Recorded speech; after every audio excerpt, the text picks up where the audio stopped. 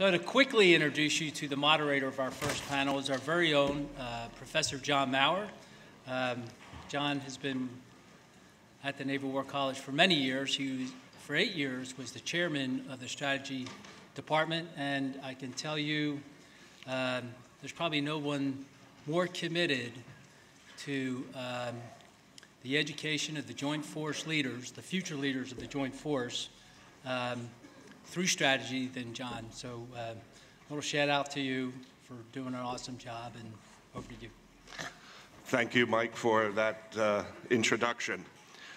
In an age of smartphones, smart cars, smart houses, of course we need smart people. That's critical. As the CNO talked today, to be able to make informed decisions, you have to have habits of thought, disciplined habits of thought to help guide decision makers. And so today, I want to quote from Proverbs Plans succeed through good counsel. Don't go to war without wise advice. Well, today we have good counsel and wise advice up here on the stage. What a distinguished panel we have here today for the first panel of the current strategy forum. Wow, the amount of intellectual firepower here uh, is something that has probably never been equaled since Mahan's time.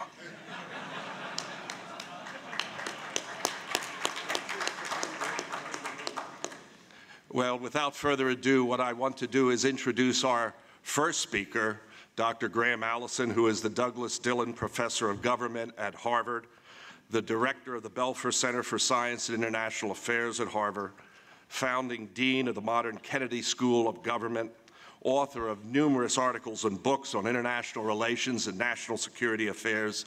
His book, Essence of Decision on the Cuban Missile Crisis, is a classic, a text that we use. Nuclear Terrorism, again, an incredible book about the dangers of nuclear terrorism that we have used as a text here at the college. And he has his just released book, Destined for War, that draws upon Thucydides. As the students here know, Thucydides is a staple of the college strategy courses stretching back to the time of Mahan.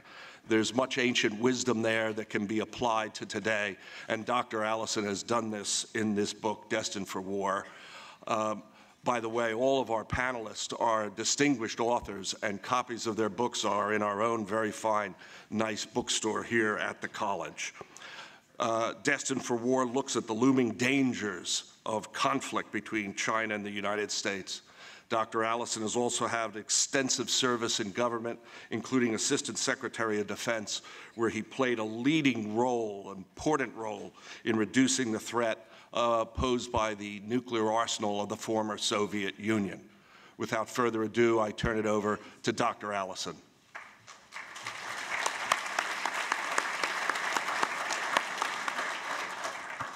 Thanks very much, John, and it's a great honor for me to be here today.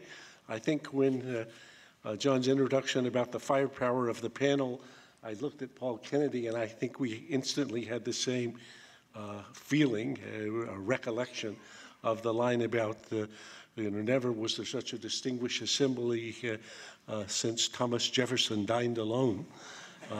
and I think it, ne never was there so distinguished a panel since Mahan was here by himself. So I'm a great fan of John's, a great fan of the Naval War College. Uh, actually, uh, when I Derek Reveron was giving me a ride from Providence Airport this morning, I was remembering that I first came here when uh, Stan Turner was became the president of the of the. Uh, and Stan, I was had uh, just become, or I was a few years as dean of the Kennedy School, and Stan had some ideas about some reforms that he wanted to make here. I think he wanted some academic cover to basically agree with him. He had the ideas, but we offered a little advice. I've been a big fan of the Naval War College ever since, so it's a pleasure to be here. So as John mentioned, I have a new book just published, it was May 30th. It's called Destined for War, Can America and China Escape Thucydides' Trap? Now for most audiences, uh, especially Americans, uh, first Thucydides is multisyllabic, uh, and that's challenging, okay? Uh, and, and, secondly, he's a mouthful. There's no doubt about that. So uh, the number of people who manage to mush the name uh, is quite a lot, but I'm hoping that before uh, this effort is done, among other things that the book may help do, is to remind people that if Thucydides is not part of your mental canon, you're deficient. And I know that John has taught the Thucydides here for many years.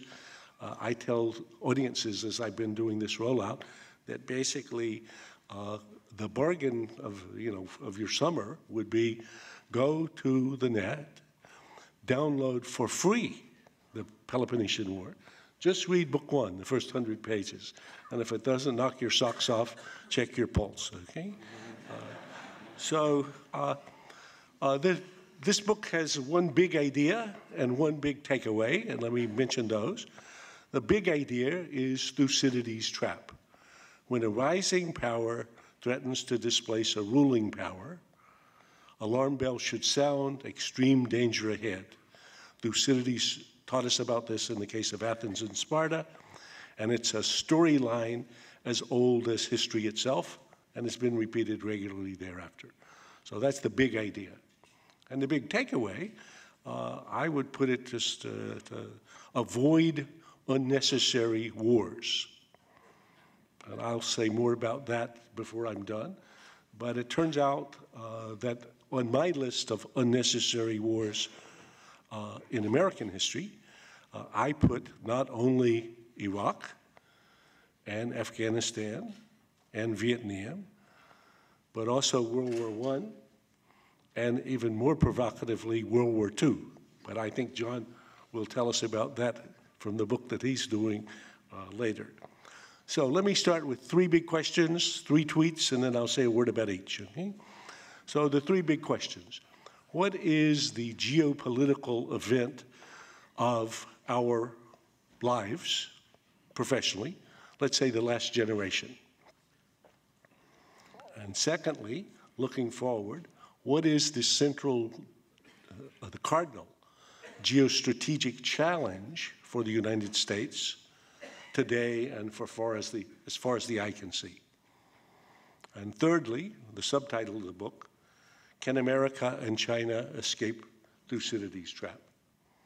Uh, so uh, in the uh, uh, try, trying to be consistent with the new style, uh, a tweet version answer for each. So, and then I'll do a little, a little explanation. Uh, first, what is the geopolitical event of the past generation?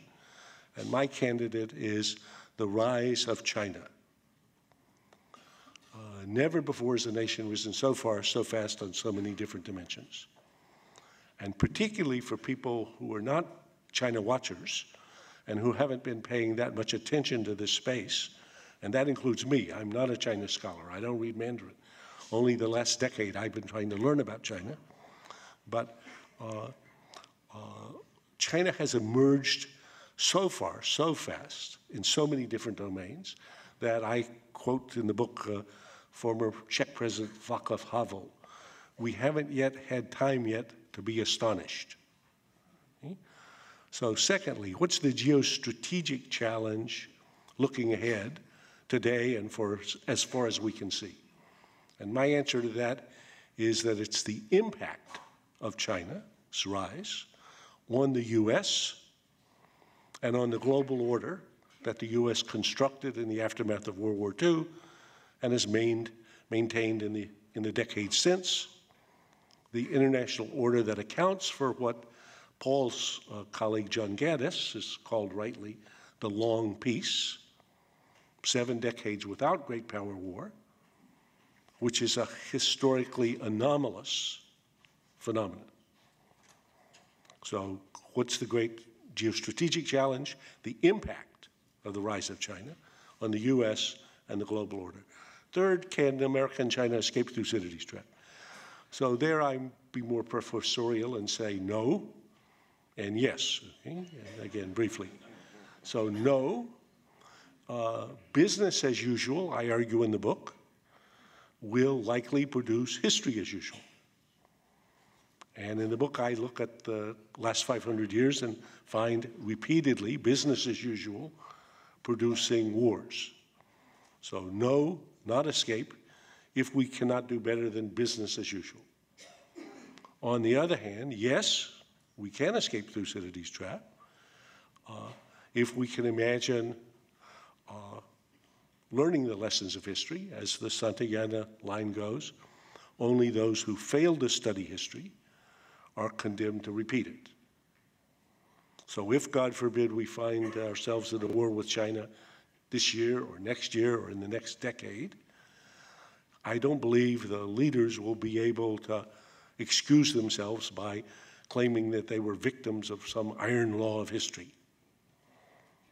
It'll be because of mistakes that they made, not unlike mistakes that were made in earlier cases that led to outcomes that they didn't want. So that's my three questions. There's the three tweets. Uh, I've got about 10 more minutes, and I'm going to take you at a rapid pace through the three points again. So, first, the rise of China. Uh, I actually have a slide which I don't know if it arrived. If it didn't, I don't need it. If it did, it's fun. So I will tell you about it since I think I can relate to it since I came from the Providence airport this morning and discovered the joys of the bridge that you all are reconstructing. Uh, so those of you who've been to Harvard lately will note that there's a famous bridge across the river, Charles, between the business school and the Kennedy School. It's called the Anderson Bridge. The, re, the rehabilitation of this bridge was first discussed when I was dean, and I quit being dean at the Kennedy School in 1988. Okay? Uh, the construction project began in 2012 as a two-year project. Uh, uh, uh, at the end of the two years, it was extended for a year. Then it was extended for another year. Now they've given up uh, proposing a date when it's going to be finished. So it's just, if you look at the website, it says question mark. And it's three times over budget, yeah? Uh, so there's also, I'm going to be in Beijing next week, and there's a bridge that I've been across. It's called the Sanyuan Bridge. Uh, it's three times bigger than the Anderson Bridge. It's in Beijing, down in Central, across a river. Uh, in 2014, the Chinese decided they need to rehabilitate this bridge, and they began the project. Uh, how long did it take to complete this project? Somebody want to make a guess? How long? 43 hours. 43 hours. You go to Google or YouTube, so you go to YouTube, put in the Chinese Sanyuan Bridge, or just put in Chinese Bridge 43 hours, and you'll see the timeline of this thing. I mean, that's the slide that I would have showed you. Okay? Now, if they were proposed to come and fix the Anderson Bridge now at Harvard, I would also pay because rather than sit in the traffic jam to have this done the American way. Okay? So, in the course, I offer students in my course at Harvard, which a couple of people here actually have been, you know, are graduates of, uh, a, uh, a set of 26 indicators with the question when could China become number one? So, automobile manufacturer, smartphone manufacturer, robot manufacturer, uh, artificial intelligence, uh, supercomputers, fastest supercomputers, number of billionaires, uh, largest economy in the world. So, when, and they have to take a quiz, in effect, write down when. So they say 2030, 2050, not in my lifetime. Then I have a second slide, and the, the title of it is Already. Okay? So in every one of these 26 indicators, China has already overtaken the US. So I'll do it again. Number of billionaires, number of robots manufactured and bought and used, fastest supercomputers, they were not even in the game five years ago. They won the first four places last year. Uh, uh, indeed, uh, most Americans don't get it, and, and most of the news sources would not tell you but the big headline from the IMF World Bank meeting in 2014 is China is now the largest economy in the world, measured by what the IMF and the CIA believe is the best yardstick for measuring and comparing national economies, namely purchasing power parity. So if you go to the CIA website, if you go to the IMF website, you'll see that the Chinese economy is about 10% bigger than the US today. Today. So in every domain, we see a rising China in the Chinese narrative and with some considerable merit, the restoration of China, as they think of it, to the position that it enjoyed before the West intervened. But if you haven't seen China in your face yet or in your space yet, I would say you haven't been looking carefully, uh, or if necessary, just wait. So that's the rise of China. Second question, the geostrategic challenge looking forward. Uh, this is the impact of the rise of China on the U.S., U.S. sense of ourselves, the U.S. sense of our role in the world, and the international order that the U.S. has been the principal architect and maintainer of. Uh, I testified to the Senate Armed Services Committee uh, three years ago about this, and the, the ranking Democrat on the committee from here in Rhode Island, Jack Reed, is a former student of mine, a very good guy. And Jack invited me and he said, uh, you know, Graham, you should make this simple. Uh, so I said, okay, I will work hard on this. So I gave him 10 pages that I thought was quite clear and simple. And he sent it back and he said, I, I told you simple. You know, so I, I, I, I, I sent it back and it was five pages. And he said, no, no, no, simple. So I made a cartoon, okay? Uh, and I produced the cartoon in the book. Uh, uh, so this cartoon imagines a seesaw. So you know, remember the seesaw from the, from the playground. So seesaw, you have the US sitting on one end of the seesaw and China sitting on the other end. Now, as of 1980, China's GDP was less than 10% of the US.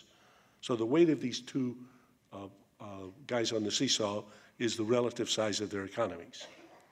So by 2014, China is equal to the US, slightly larger. So the seesaw has moved like this. And by 2024, on the current trend lines, China will be half again larger. So the seesaw will look like this. So I said to uh, the Armed Services Committee, you know, we're debating here in the Obama administration, it's a big initiative in Asia, it's called the pivot. And what was the pivot about? So the pivot was about whether this guy on the seesaw was going to put more weight on his left foot in the Middle East where we're fighting wars, or we should lighten up there a little bit to put more weight on our right foot in Asia where the future is going to be. But what's, what was failed to note was that all the while our feet are just lifting off the ground. So this is going to be a rather irrelevant discussion. So basically, the idea that the tectonics have shifted to the point that you have a China, which is a larger economy than the US, is, I don't like it. It's incredible. Now, uh, for Americans, especially red blooded Americans, even worse, red necked red blooded Americans like me, I come from North Carolina. I know that somewhere it is written and I'm searching for it. So he, Paul is a great historian. He may be able to help me find it. It's either in the Bible, or maybe in the Constitution, or, or Shakespeare, somewhere, but it says USA means number one. Okay? So, and I think actually, if you take off your shirt, if you're a redneck American, and you rub, uh, rub off the, the uh, cosmetics, you'll see there's a tattoo that says uh, USA means number one. That's who we are. That's our DNA. So the idea that there's another country as big and strong as we are, that's not acceptable. I mean, it's not acceptable. I would prefer not to have such a world. I think a world in which the U.S. is the biggest and strongest country is a better world. But in any case, as Lee Kuan Yew says, and I quote him here in the book, this is the biggest player in the history of the world, and Americans are going to have to find a way to adjust to this reality. Now, what is the impact then of this tectonic shift? Uh, so we have a rising power threatening to displace a ruling power. This is Thucydides' big idea. You'll remember that he explained about the Peloponnesian War. He says lots of other people pointed to other, other factors, but I'm going to go to the heart of the matter. It was the rise of China, sorry, the rise of Athens, and the fear that this instilled in Sparta that made the war inevitable. I look at in this book at the last 500 years. Actually, and one of my one best sources for and guides for this was Paul Kennedy and his great book on the rise and fall. And Paul was a great tutor for me in all of this exercise. So, although I, I, he's not to blame for any of the mistakes, of which there are many, okay, uh, the last 500 years, 16 cases of rising power threatening to displace the ruling power, 12 of the cases in war, four of the cases in not war. So inevitable is exaggeration, that's hyperbole, but business as usual likely produce history as usual. Uh, in this case, as we see the impact of the rise of China on the US, we also see this on all the rest of the international order and the structures. And nowhere is this more evident than in Asia. So I would say watch for all of the Asian relationships to be stressed. And if you haven't seen the stress yet, again, you haven't been looking. In the Philippines, in Thailand, in South Korea, which is going to be a very stressful relationship in the year ahead, I believe, even in Australia.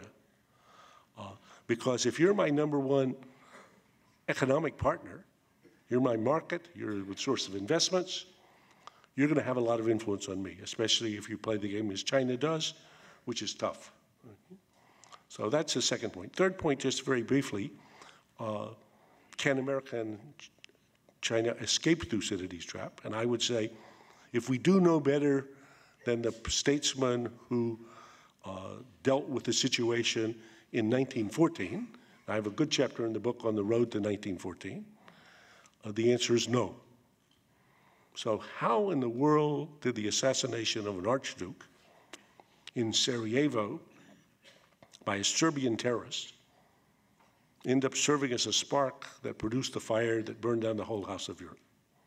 I mean, it's an incredible story. When I, when I read it now and look at it, and I've been looking at it for you know 50 years, it's still more incredible to me today than that events on the North Korean peninsula in a year or two ahead could lead us to a war with China. So, in the, at the end of the war, every one of the leaders, every one of the participants, had lost what he cared about most. So, the Austro Hungarian emperor, his empire's gone. He's out. The Russian Tsar is backing the Serbs. He'd been overthrown by the Bolsheviks, his whole regime. Kaiser backing his buddy in Vienna. He's out.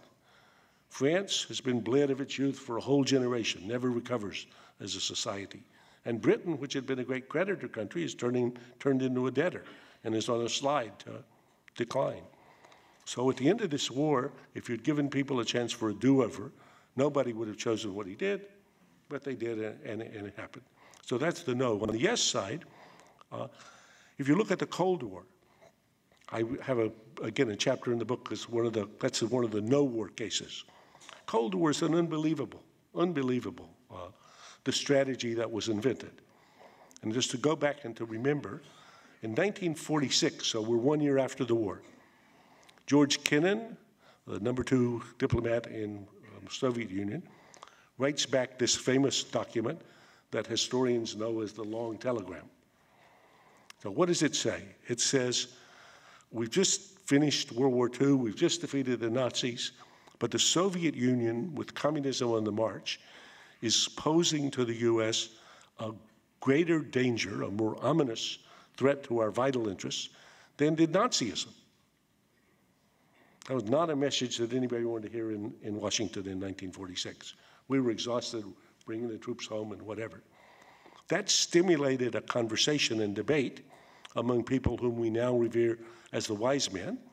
So Acheson, Truman, uh, Vandenberg, Nitze, uh, out of which emerged a remarkable strategy, all dimensional, fantastically uh, imaginative, fantastically demanding, for war in every dimension and by all forms except bombs and bullets killing each other.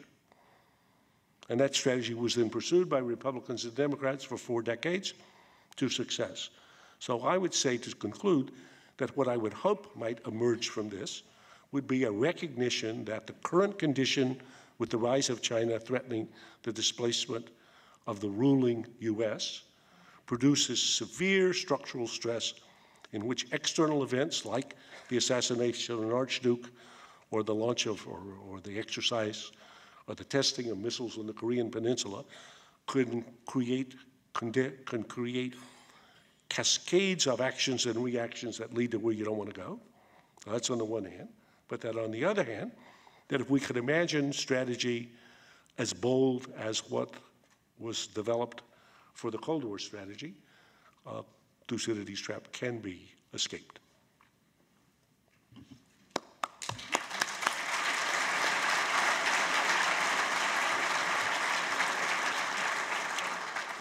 Thank you, Graham, for that. Uh, our next, next speaker is uh, Professor Paul Kennedy, who is the J. Richardson uh, Dilworth Professor of History at Yale University.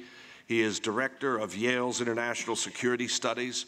He is a distinguished fellow of the Brady Johnson Program in Grand Strategy, which is one of the leading programs, courses, highly regarded grand strategy course in the world. He is the author of numerous articles and books, uh, Graham talked about the outbreak of the First World War. Paul's book, The Rise of the Anglo-German Antagonism, is a must-read book on the origins of the First World War. His book, Engineers of Victory, provides a fascinating account of the role played by mid-level problem solvers in producing Allied victory in the Second World War.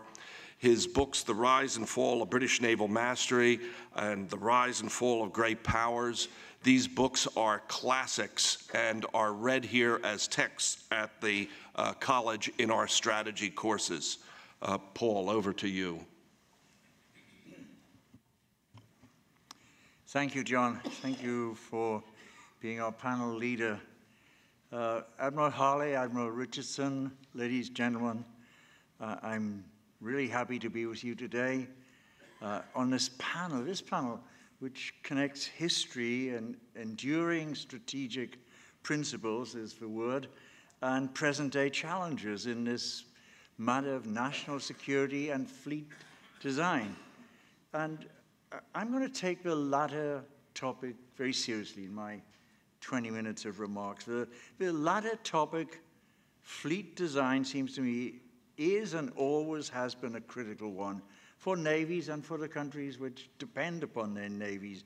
And I don't think it's an exaggeration for, for me to say that for every hundred pundits or authors on national security and foreign affairs, there would be only one, if that, who paid any attention to the design of fleets, to the structure of naval forces, to the aptitude of warships in changing strategic environments, to the right types of warships.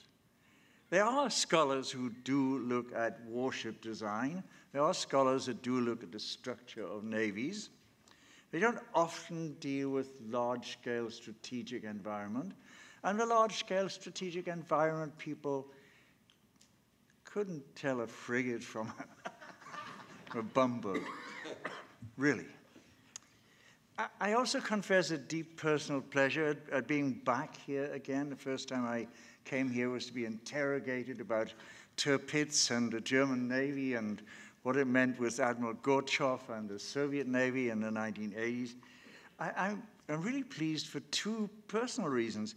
First, I am grappling with a, a new book called Victory at Sea, 1936 to 1946, which looks at the relationship between American productive and technological power that emerges in the middle of the Second World War by about 1943 or so, and the newer warships and weaponry, the newer fleet design that arrives on the battlefronts to win both the Atlantic and the Pacific campaigns.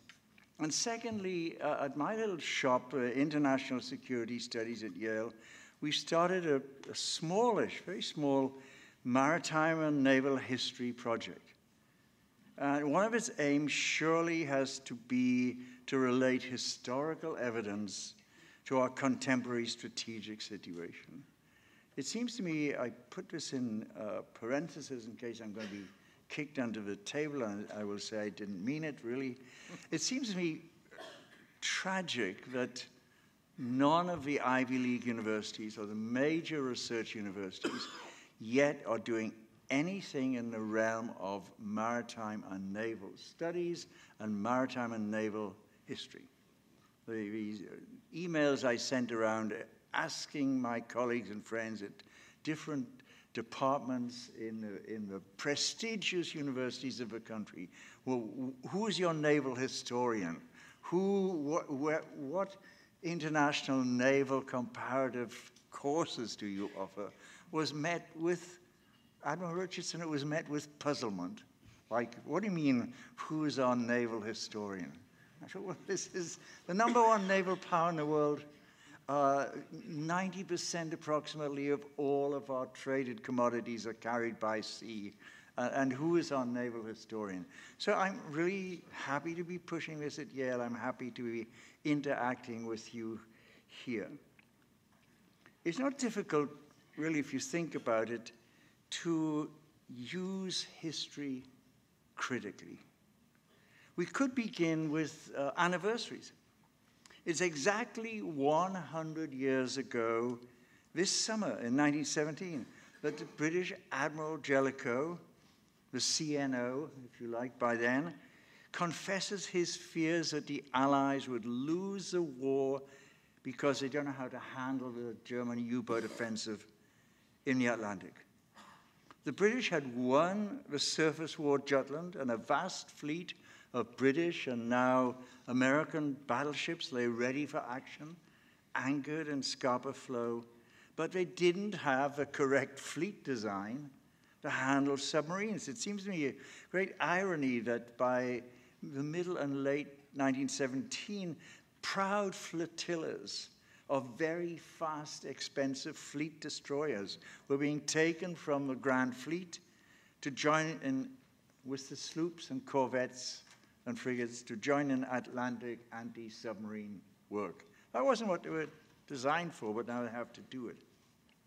The second lesser known anniversary is that it's exactly 74 years ago, in June 1943, that the first of the new Essex class fleet carriers steams into Pearl Harbor to begin the carrier led offensive across the Central Pacific that even non historians know a bit about, and Professor Symonds writes quite a lot about. The Gilbert Islands taken, then the Marshalls, then the ill designed or ill structured Japanese fleet hammered again and again then the Philippines operation, then Iwo Jima, Okinawa, all under the umbrella of carrier based air power.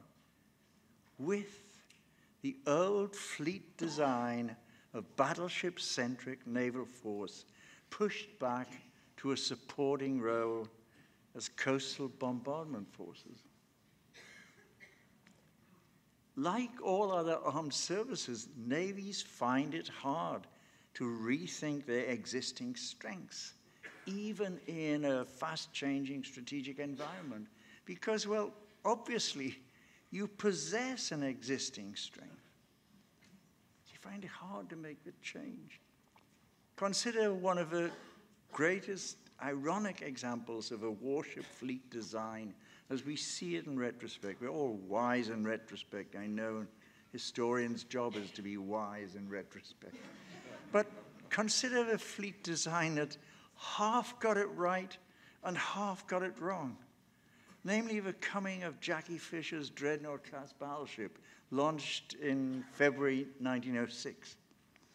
That design got it right because it stymied and boxed in Tirpitz's naval strategy. Whatever newer battleships and larger battleships the Germans could build, the British could build more and simply lock the high seas fleet into the North Sea.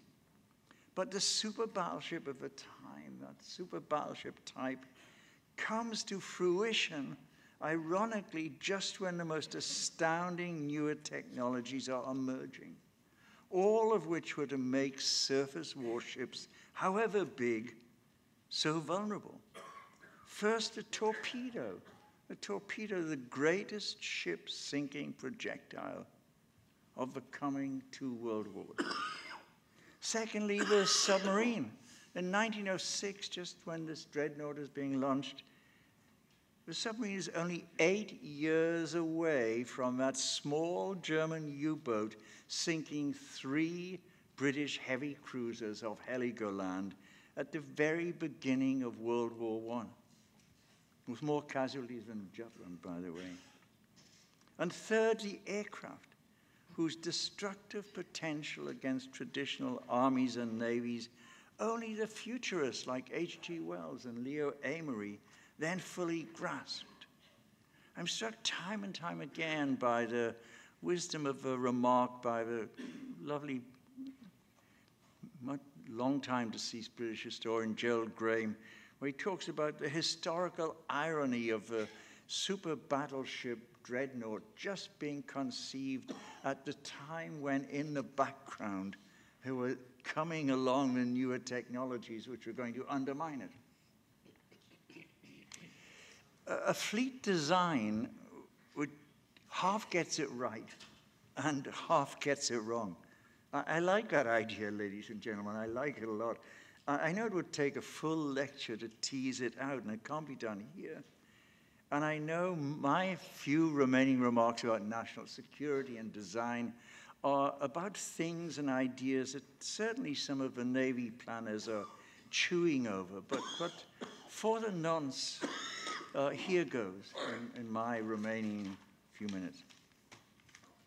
If you put it in grand strategical terms, truly grand strategical terms of the largest possible way of thinking, the three great tasks, the three great aims for the US Navy and the other services remain the following. First, the defense of the homeland and the sea lane communications to the homeland. I just can't see that core strategic aim being under any real, real threat.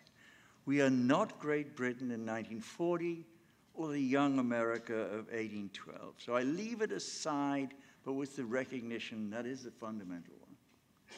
Secondly, the defense of NATO, Europe, and the Atlantic waters. I can't do justice to my arguments here but I believe that that purpose is still eminently achievable despite our reduced resources that Secretary Lehman was talking about.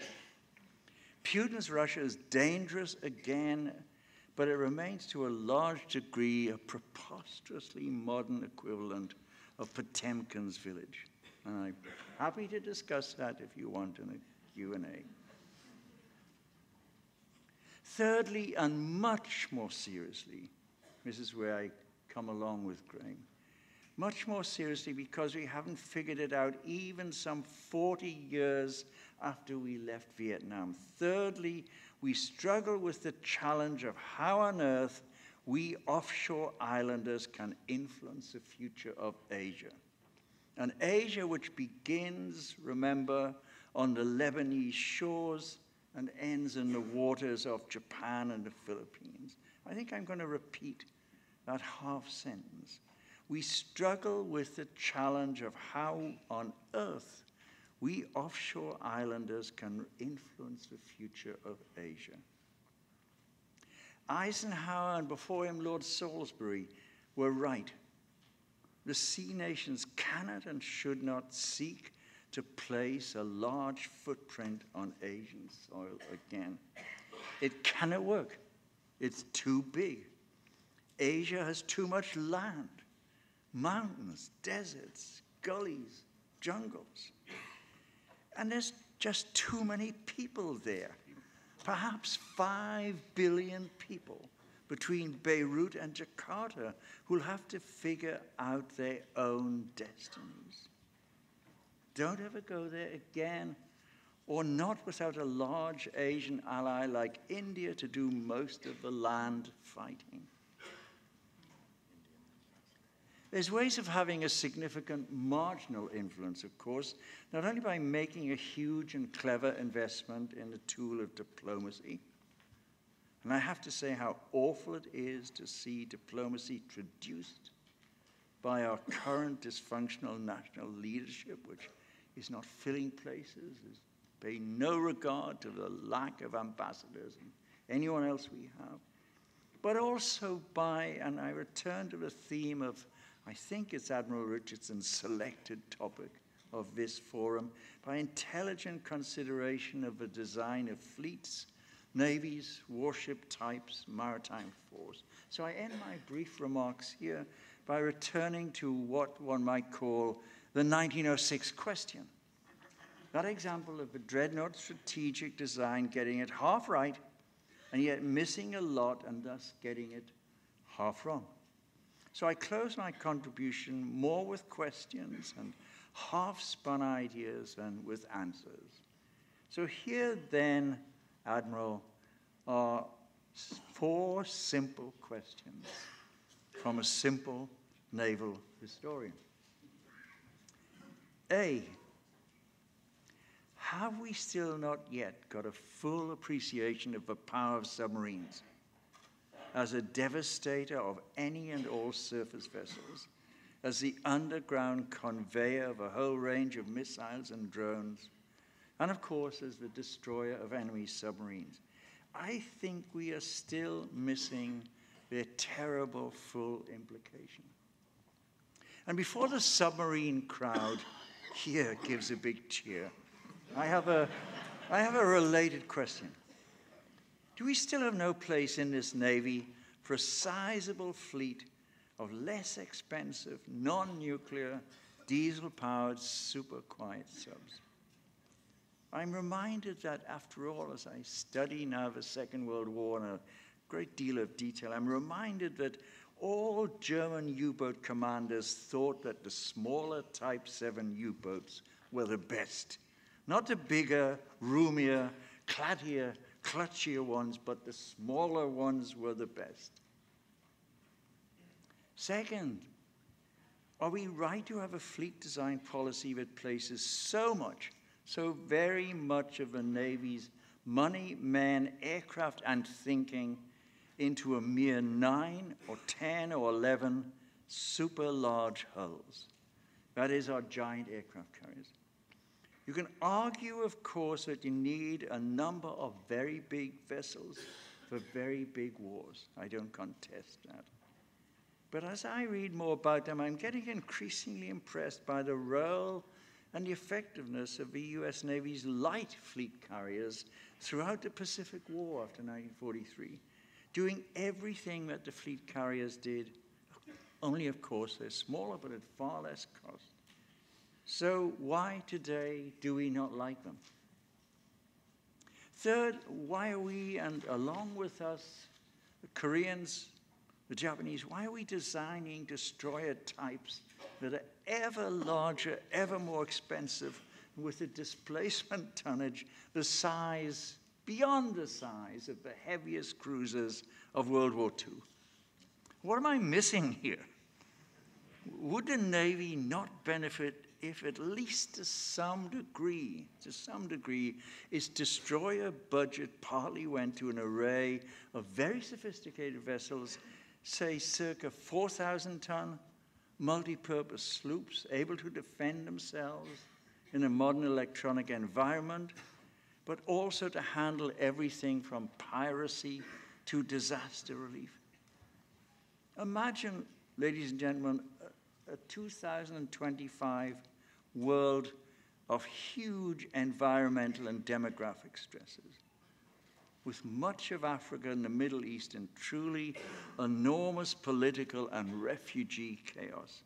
The sort of things the World Bank and the World Pop Population Fund are just scared stiff of. Imagine that. What do 10,000 ton destroyers do when we ask the Navy to go in and help? A final agnostic question. Have we got the issue of manned as opposed to unmanned air power right for the world of 2025 or 2040? Will it not seem weird to later historians that we, us here, lived in a decade when unmanned motor vehicles were perfected on land while we kept our preference for hugely expensive manned aircraft, going and going and going until, of course, They were all shot down in an aerial world of amazing missiles and rocketry. Do we still have too much of a dreadnought complex here? So I know this presentation ends with questions, not answers. Hopefully, tomorrow morning's panel will help out in, in that regard.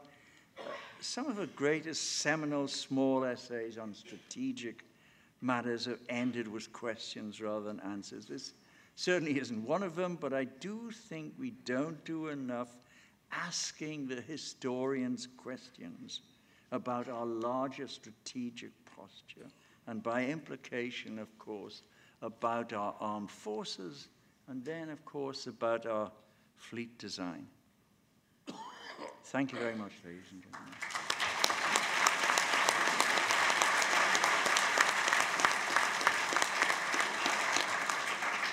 Thank you, thank you very much, Paul, for that. Our third panelist is Craig Symonds. He is Professor Emeritus from the U.S. Naval Academy. I know there are many officers here, Navy, Navy Marine officers who are in, in the audience here who were students of, of, of Craig. I'm sure some of them have come up to you, right, Craig, and said hello and asked why they got that grade that they got. Uh, he has also served as a military professor here at the Naval War College. He is the author of prize winning books Decision at Sea, Lincoln and His Admirals, The Battle of Midway, The Civil War at Sea, Neptune, wonderful study about uh, uh, the D Day invasion. I am pleased to say that he will be returning to the Naval War College this coming academic year to serve as the Ernest J. King Professor of Maritime History. Uh, Craig, over to you. Well, thank you, John. I appreciate that. Uh, Good morning, everyone. You know, Tom and I, just before we sat down up here, were looking at the batting order and deciding that we had a distinct advantage because we got to go after our esteemed colleagues here. So I'm going to make my remark. What he said, that's exactly right.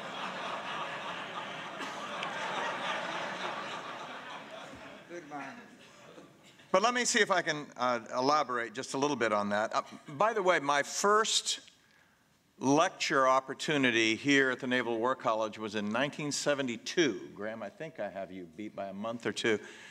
Uh, when I lectured, I believe the first and perhaps still the only ensign ever to lecture uh, to the College of Naval Warfare at the Naval War College. It's been 45 years since then. I'm delighted to be coming back this fall to see how you've, uh, the stewardship of the program has survived. Um, going Third, also gives me the advantage to comment on uh, some things my uh, predecessors had to say here. I was interested in Graham's comment about unnecessary wars. Both Paul and I have been working assiduously on one of those, the Second World War. Um, I have always believed that of all the wars in which the United States has participated, two of them were not only necessary but essential. And that those two were the two I've spent most of my life studying the American Civil War and the Second World War. The reasons being that I cannot imagine in my historical imagination any circumstance that would have allowed our society to eliminate slavery with its enormous financial investment in chattel slavery, absent a violent confrontation. And I cannot imagine suppressing Hitler and Nazism without a violent confrontation. So those two things, I think, have been necessary. I mentioned that I've been working on a World War II book. I just finished literally weeks before we came up here yesterday uh, to participate in this panel. Um, and it opened my eyes to a number of, of ideas, many of which Paul touched upon, which I think is wonderful. And, and one in particular that I wanted to talk about because much time was spent this morning talking about ship numbers. Um, numbers are not my thing. I'm an historian. Nevertheless, uh, and, and, and, Paul, I think, made uh, a very thoughtful uh, comment on this that assessing numbers alone can't give us a sense of capability. The lieutenant who asked the question about how do you balance capability versus numbers, I think, is critical to us. In 1945, when the Second World War came to an end, the United States Navy was the most powerful sea force in the history of the world. It would more powerful by multiple numbers over all the other naval forces on the planet combined. Some 65,000 combatants if you count armed landing ships. Today, there are, depending on how you count, 275, 287, 282. But I'm here to suggest to you if you have an opportunity to place a bet on a confrontation between those 65,000 in 1945 and the 275 that exist today, bet everything on today's Navy. Because numbers alone cannot tell us exactly what a Navy can do. And, and that goes back to the idea of saying that the Gerald R. Ford is one unit, and a landing craft infantry with a 20 millimeter gun mount in the bow is one unit. And obviously, that's absurd. So the question is how can we get maximum capability, maximum influence out of whatever number of platforms we have available on the sea? Another way to look at this is dollars invested.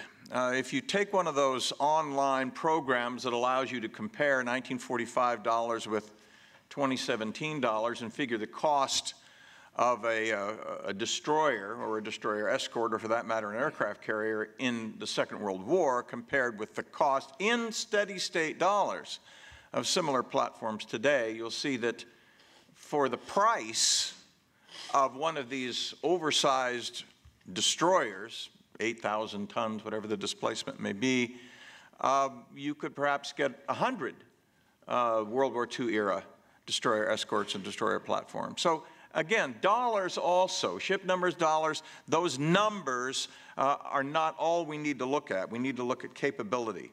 We need to look at, uh, at what they're designed to do. And in that respect, the, the tipping points that Paul referred to in terms of the shift from dreadnought battleships into a carrier oriented warfare in the Pacific illustrated perhaps best by the Japanese decision just before the outbreak of war in the Pacific in the late 1930s to say uh, the way we can clearly overmatch the threat that they perceived from across the Pacific from the United States was to build oversized, supersized battleships. The Yamato and the Musashi displacing, when fully loaded, some 73,000 tons, carrying guns that fired shells of 18.1 inches in diameter at a range of up to 30, 32 miles. That will be the edge that will allow us to overcome this threat that we perceive across the Pacific. But of course, months after the Battle of Midway, weeks after the Battle of Midway, the third of those super battleships was converted into a super aircraft carrier, in belated recognition that, in fact, the index of naval power had shifted. And it shifted just at the moment when they were about to apply it, just as in 1906 the emergence of the dreadnought shifted just at the moment when the submarine and the aircraft were making surface battleships more vulnerable. Uh, and we need to ask are we in the midst of one of those shifts right now? Uh, we heard the talk about the OODA loop and how uh, assessment, sensors, and the application of firepower at the beginning and the end of that loop don't necessarily have to come from the largest platforms. And again, in this respect, I would urge consideration of Paul's third question about uh, the continued investment of putting so many eggs into so few baskets and to whether or not that is makes a maximum uh, efficiency of our investment, and for that matter, of the numbers. The difficulty here is it's harder to convince the public. One of the questions from the audience today how do you how do you convey the sense of urgency, the very real sense of urgency about where we are in our naval capabilities vis a vis the rest of the world to a public when it's easier to say, well, we only have 275 ships and we need to have 350. This is an urgency we must sustain. That's fairly easy to do. It's much harder to say, well, we could do it with 300 ships if they had increased efficiency and capability. Harder to count. Well, the, yes, but there are devices on those ships you see that make them better. It's harder to sell to the public. But I, I, I will comment, uh, and I'll wrap up with this, and that is that I think we need to take confidence from the resiliency of American society. Um, in the American Civil War, when Fort Sumter was fired on in Charleston Harbor, the United States had, the United States Navy had a handful of warships. Uh, when President Lincoln asked Secretary of the Navy Gideon Welles, how many vessels do we have that in fact are capable now of fighting this war, he said perhaps 12. If you add the ships overseas that could be recalled from the Mediterranean and the far China Station, maybe we could put together as much as 40. Within a year, there were 200, and by the end of the war, there were 671. Now, I will grant you that the number of those were ersatz modifications, a merchant ship that had been modified to carry some heavy guns, and that's not the kind of thing you can do today, obviously. But I think it speaks to the resiliency of a society that once energized, once informed, once involved, uh, can in fact respond to uh, crises in the world. And the same thing is true in the Second World War. When France capitulated in June of 1940, within days, the Congress passed the Two Ocean Navy Act, the great expansion that created 257 new warships, including 18 aircraft carriers, in a single appropriation that passed Congress 316 to zero. Now, you couldn't get a bill for Mother's Day to pass unanimously today. Uh, those ships, authorized in 1940, were on duty with the arrival of the Essex in Pearl Harbor in June of 1943. So it can be done uh, if we're energized, if we pay attention, and we're serious about what we need to do. Is it still possible today? I I believe that it is. And I'll end with that. Thank you.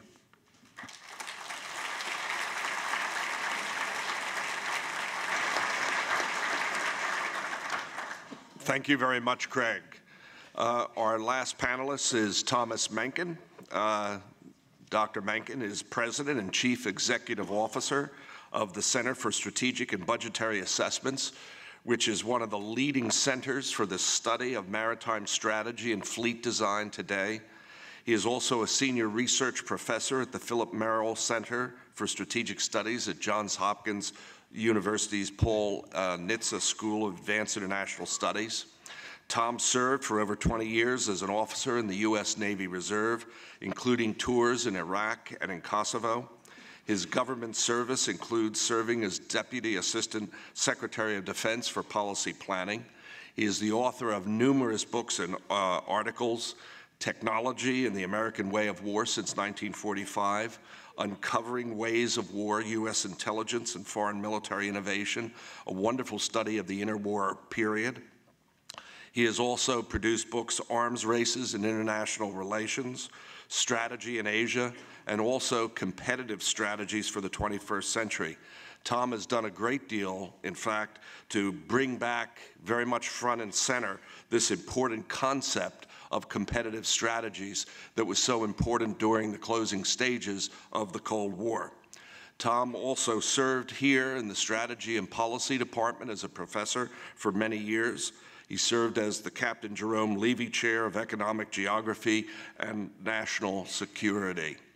Tom, over to you. Thank you. thank you, John. Um, and CNO, Admiral Harley, and, and John, thank you for, for really leaving uh, the best for last in, in the intro. uh, truly, because um, it, it is wonderful to be back. I know it's obligatory to say it's, it's a pleasure to be here, but, but uh, uh, today it actually has the virtue of also being true, so which isn't always true. Um, but you know, my time at, at Newport uh, has been so foundational to, to who I am, uh, the colleagues here, the students, and it's, it really is wonderful, uh, wonderful to be back. Um, in the limited, limited time I have, uh, I want to focus on, on a theme that has already emerged from, from this morning's uh, discussions, and that is the, the reality of great power competition and the increasing possibility of great power war, and how history can help us think about and to at least partially illuminate an uncertain future. Um, this is a topic that, that uh, we have been hearing more uh, and more about uh, in, in recent years. And I think great credit goes to, to CNO Richardson for, for emphasizing uh, great power competition, the possibility of great power conflict.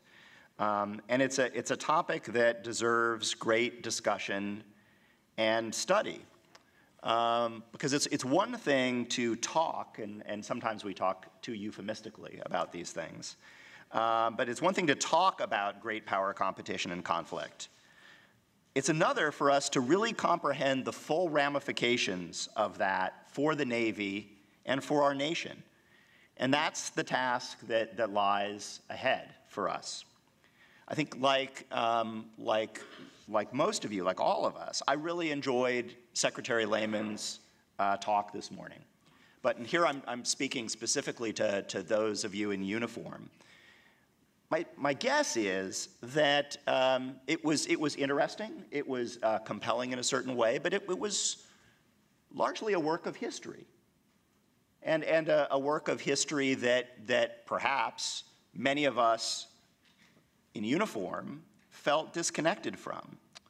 Because this discussion of great power competition and, and conflict uh, is, is, is we're, we're, we're coming back to a topic that we've really not touched on seriously for a quarter century. Now, for historians, quarter century is not a long time. For the military, it's a lifetime, or more accurately, it's a professional career. So, audience participation time. Those of you in uniform, how many of you were in service, active reserve service, uh, those of you currently in service were, were in service in 1989. Okay, just, just, as, I, just, just as, I, as I suspected.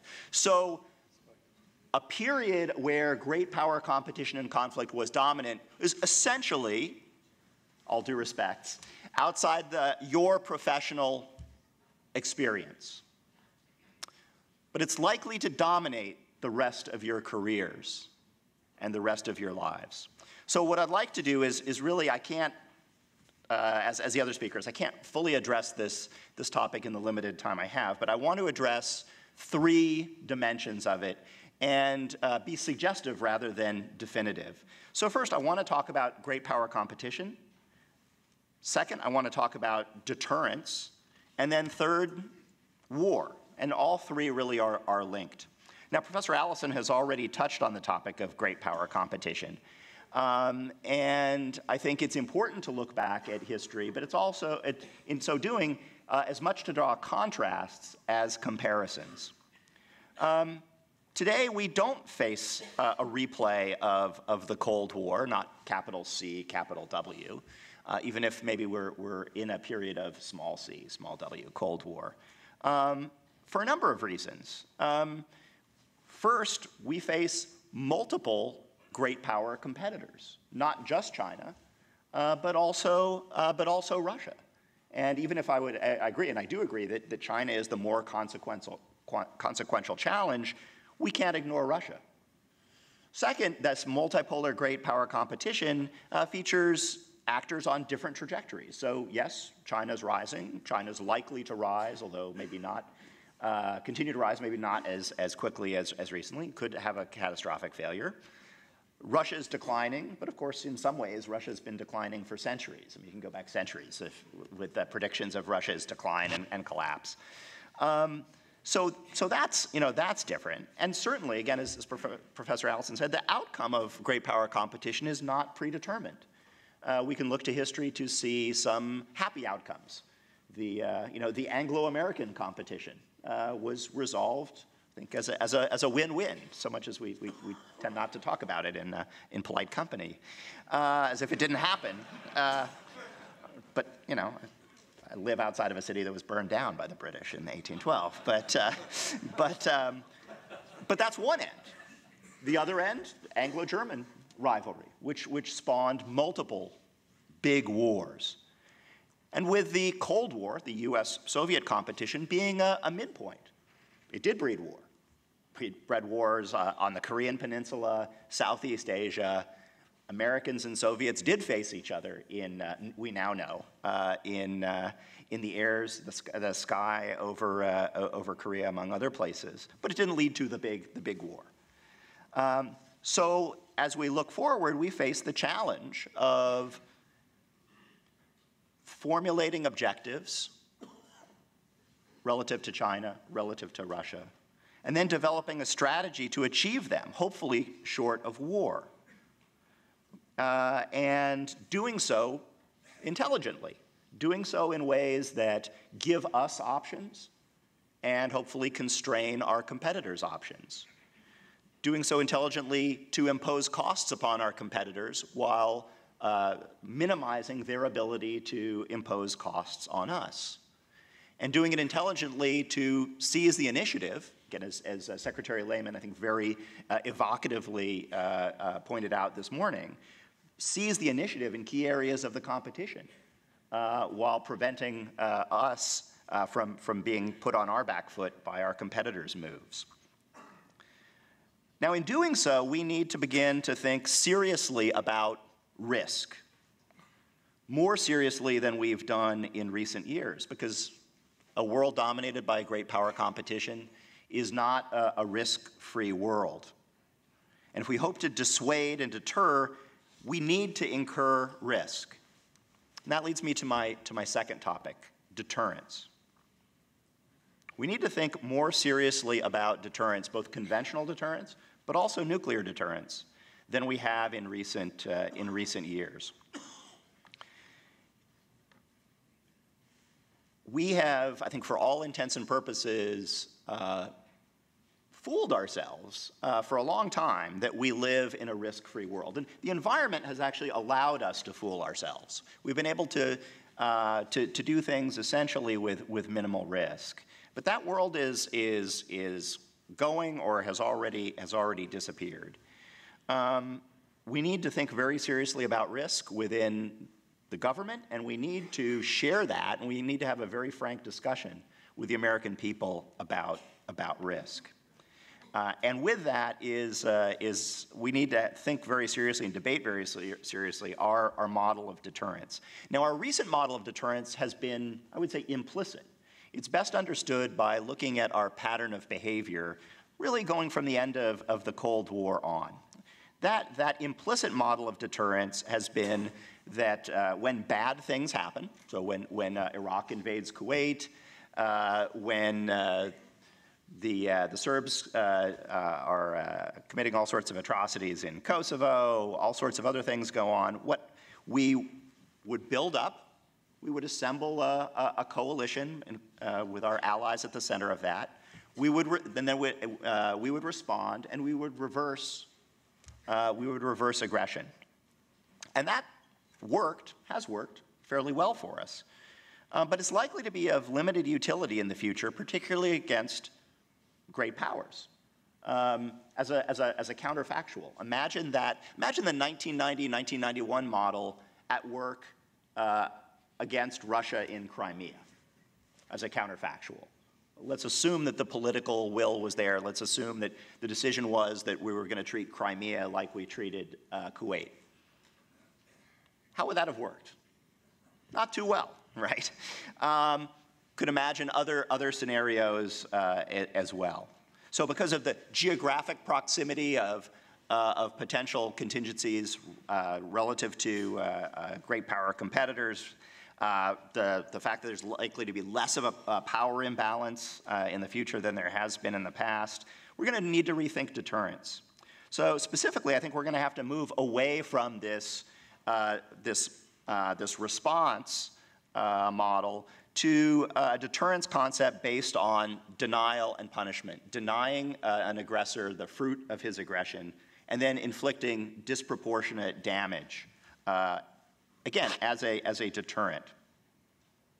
And, we, and that's, a, that's, a, that's a concept of conventional deterrence, but I also uh, believe that we may very well need to lean more heavily on our nuclear deterrent in the future than we have, at least in our recent, the recent past. Um, happy to talk more about that.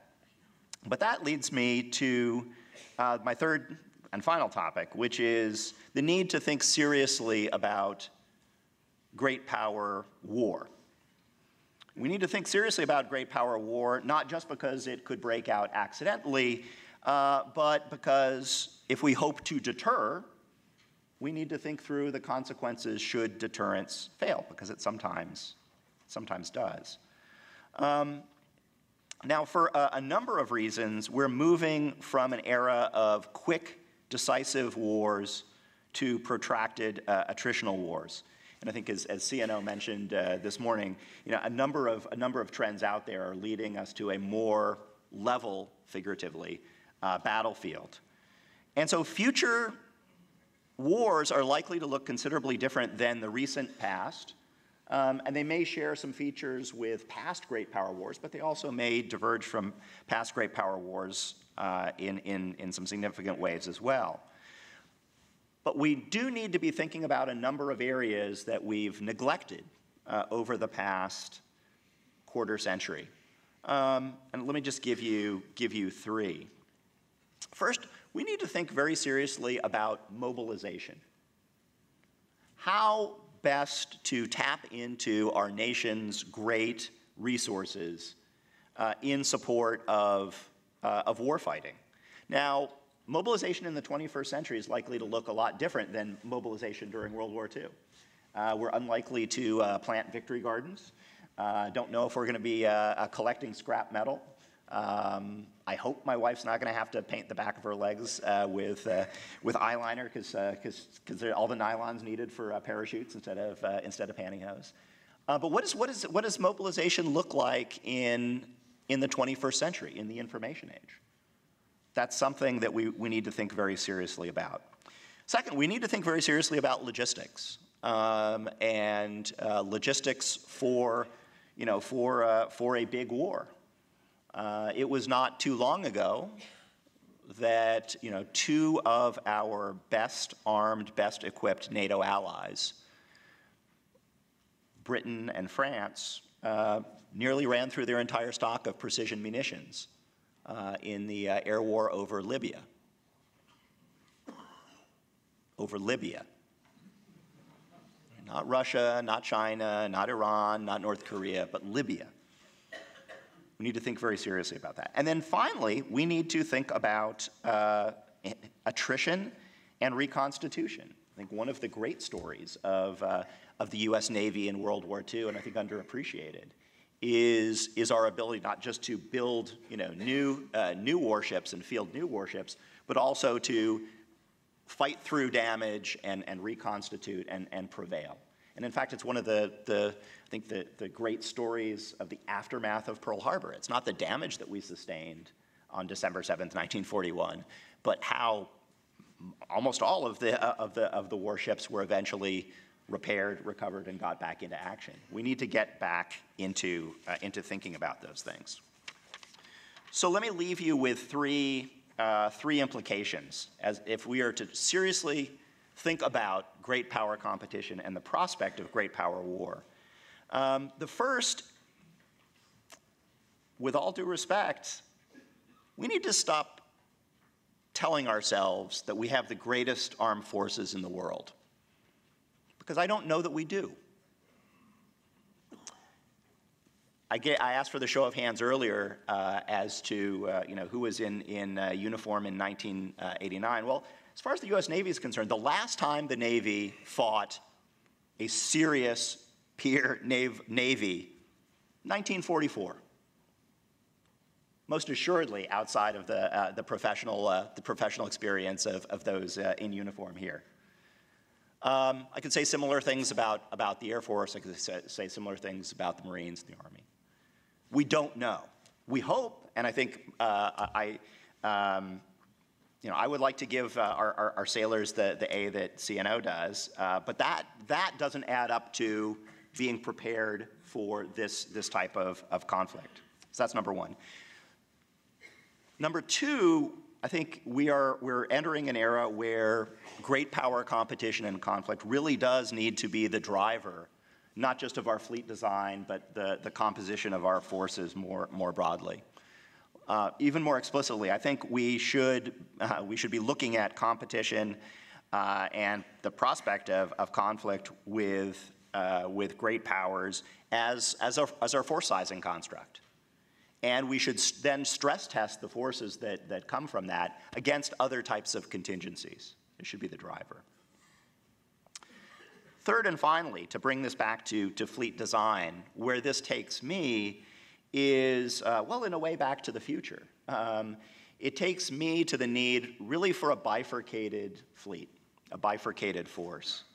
Uh, and of course, that's the way historically um, the US Navy, the Royal Navy, uh, was designed. The, the force that was deployed either periodically or, or, or permanently forward for engagement, for deterrence, looked very different than the battle fleet, than the main fleet that would be called upon in time of war.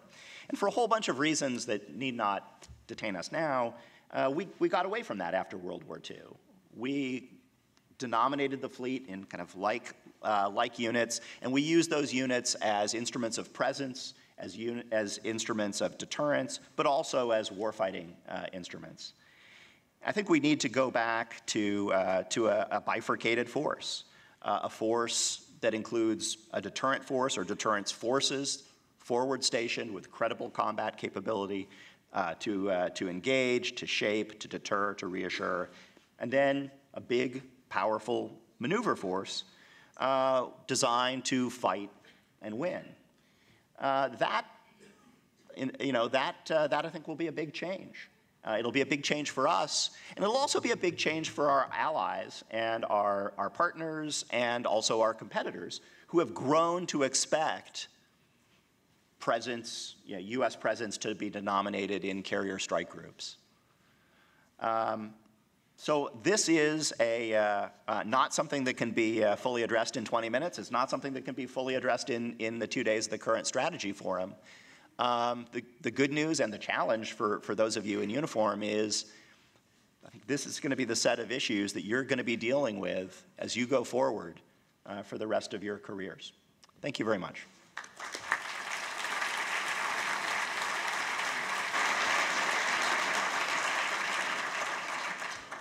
We have time before the lunch break to have some questions and comments from uh, the audience. I will recognize them if you raise your hand. We have one right over here. Let's start with that. Dr. Allison, you spoke at length about the containment strategy that was developed um, at the beginning of the Cold War and was quite successful. And you suggested that there ought to be a strategy uh, developed for dealing with uh, the threat from China. I'm sure you've given some thought to what that strategy ought to look like, and I wondered if you'd share that with us. So thank you very much. Uh, It's good? It's on? Yes. Yes. Okay. The, the, uh, uh, uh, I have thought about it, and I tell you the truth. Uh, if I knew the answer, I would uh, have said so. Uh, I say in the conclusion of this book uh, that this book will be very unsatisfactory for Washingtonians, because in Washington, it's necessary to describe the solution to the problem in the same sentence in which you describe the problem. Uh, but the rise of a 5,000 year old civilization with 1.4 billion people is not a Washington problem to be fixed, in which we just roll out a new strategy, seven to dos, take an aspirin, and be confident things will get better. I don't think that's correct. I think this is a condition, a chronic condition, that we're going to have to cope with over a generation. But in the conclusion of the book, I sketch a spectrum of strategy. I first say the current strategy of engage but hedge that's been uh, uh, the, the moniker under which we've gone, both under Obama and Bush, basically permits everything and excludes nothing. So it's basically been an excuse for going with the flow, and I think has not served us well. Uh, secondly, I say that uh, uh, the spectrum of strategies that we should be exploring should be way wider than the current conversation. So I give you one well to the left, which is accommodation, uh, in the spectrum just to sort of start the conversation, and one well to the right, which is called undermining and splintering. And none of those are part of the current conversation. Mm-hmm. And then finally, I say, I, what I'm hopeful is that as we get our mind around the fact that we're facing a, a, a challenge of Thucydidean proportions, where on the odds, the odds are that it turns out poorly, we'll now stretch our minds and that a lot of people will get involved in the conversation in the same way that happened after 1946. And I think actually uh, for the, for the uh, people in uniform here, I think it's more likely that some people who are next generation, not old Cold Warriors like me, will be more imaginative than people that came from my generation. Another question or comment from the audience? Yes, right there. Thank you for all the wisdom on the stage, but I just have one specific question.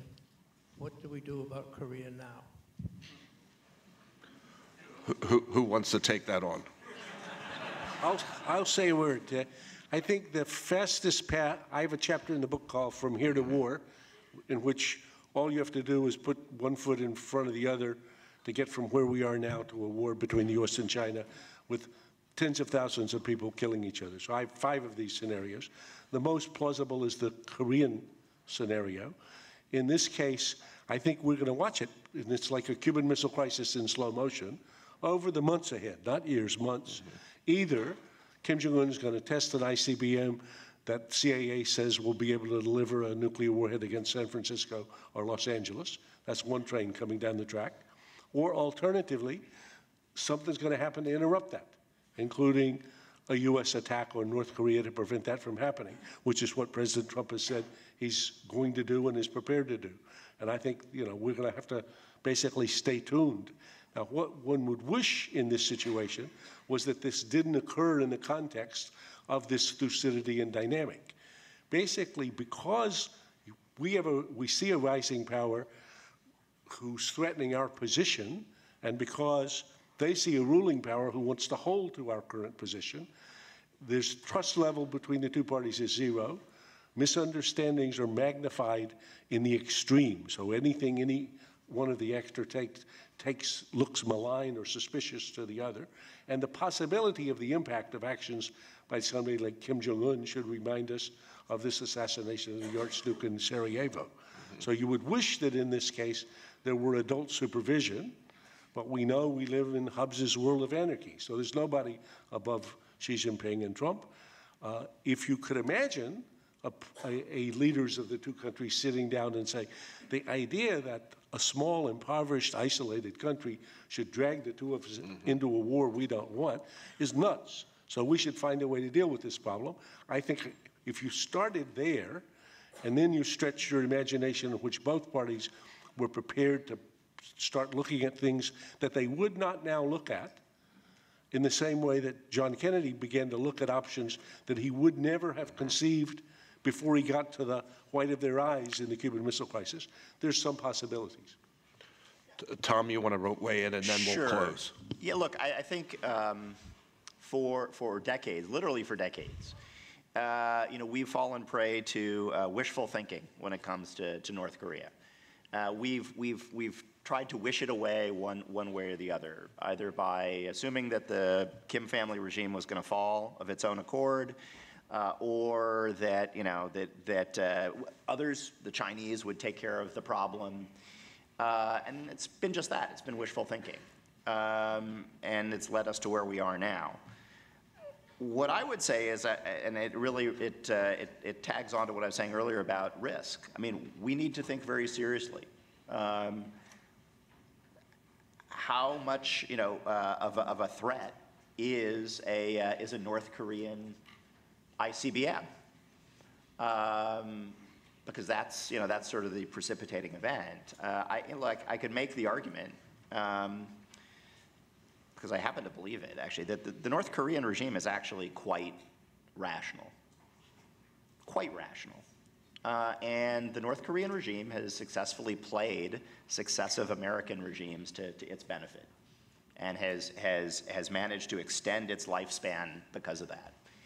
Um, so, you know, can, can we tolerate the, uh, can we tolerate a, a, a North Korean ICBM? Um, well, I think that's, that's, the, that's, that's the discussion worth having.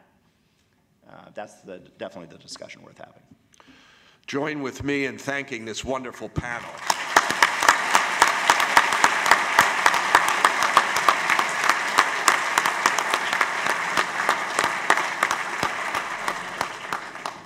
Okay, that was by far one of the best panels we've ever had here at CSF. Uh, We have uh, an hour and a half for lunch, and see you uh, back in your seats at 1:15.